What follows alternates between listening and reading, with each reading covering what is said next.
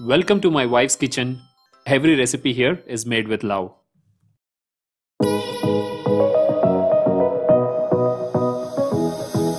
இன்னைக்கு யூஸ்வலாக பண்ணுற மாதிரி ஒயிட் சாஸ் பாஸ்தா அந்த மாதிரி இல்லாமல் ப்ரக்கோலியை வச்சு பண்ணுற மாதிரி ஒரு பாஸ்தா ரெசிபி தான் பார்க்க போகிறோம் இது கிட்ஸுக்கு ரொம்பவே பிடிக்கும்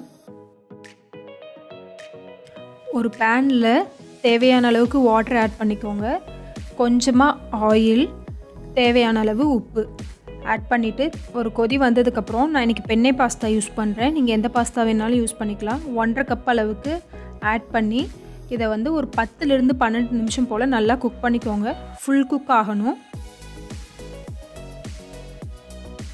ஃபுல்லாக குக் ஆகிடுச்சு இதை வாட்டர் ஃபுல்லாக ஸ்ட்ரெயின் பண்ணிவிட்டு நல்லா கோல்டு வாட்டரில் வாஷ் பண்ணி வச்சுக்கலாம். கோல்டு வாட்டரில் வாஷ் பண்ணும்போது உங்களுக்கு ஒன்றோட ஒன்று ஸ்டிக் ஆகாது.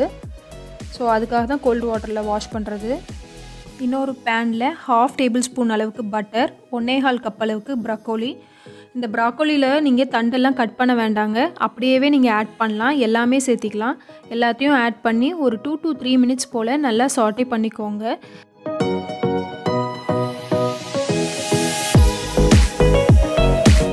கூடவே கொஞ்சமாக கொத்தமல்லி தலை நீங்கள் வேணும்னா ஆட் பண்ணுங்கள் இல்லைன்னா ஸ்கிப் பண்ணிக்கோங்க.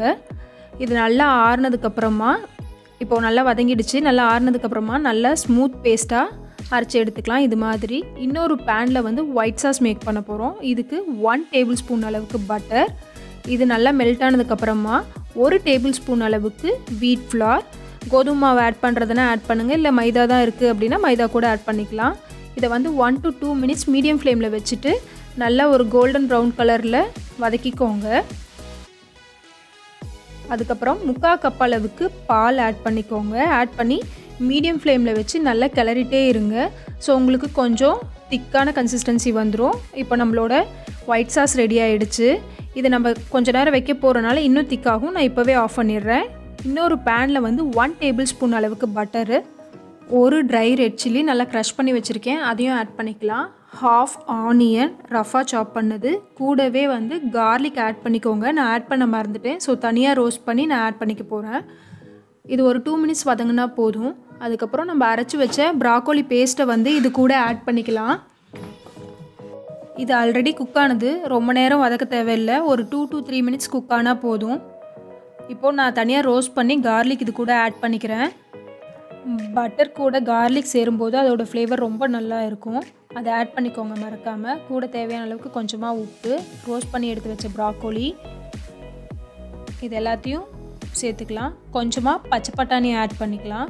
உங்ககிட்ட இருந்தால் ஆட் பண்ணுங்கள் இல்லை அப்படின்னா ஸ்கிப் பண்ணிவிடுங்க ஆல்ரெடி குக் பண்ண பச்சை பட்டாணி ஸோ டக்குன்னு குக் ஆகிடும் இது கூட கொஞ்சமாக பெப்பர் பவுடர் ஹாஃப் டீஸ்பூன் அளவுக்கு நான் ஆட் பண்ணிக்கிறேன். உங்களுக்கு வேணுன்னா இன்னும் கூட ஜாஸ்தி ஆட் பண்ணிக்கலாம். இப்போ இது கூட நம்ம ரெடி பண்ணி வச்சுருக்க இந்த ஒயிட் சாஸை வந்து ஆட் பண்ணிக்கலாம். இந்த க்ரீமி டெக்ஸ்சர் இன்னும் கொஞ்சம் ஜாஸ்தி வேணும்னா நீங்கள் இன்னும் கூட கொஞ்சம் மில்க் ஆட் பண்ணிக்கலாம் இந்த ஸ்டேஜில் கூட. இப்போது குக் பண்ணி வச்சுருக்க பாஸ்தாவை வந்து இது கூட நல்லா மிக்ஸ் பண்ணி விட்டுருங்க. இது கூட உங்களுக்கு ஏதாவது சீஸ் வேணுன்னா கூட ஆட் பண்ணிக்கலாங்க. சீஸ் ஆட் பண்ணாமையே இது நல்லா க்ரீமியாக இருக்குது ஸோ வந்து நான் இன்றைக்கி எந்த சீஸும் ஆட் பண்ணல.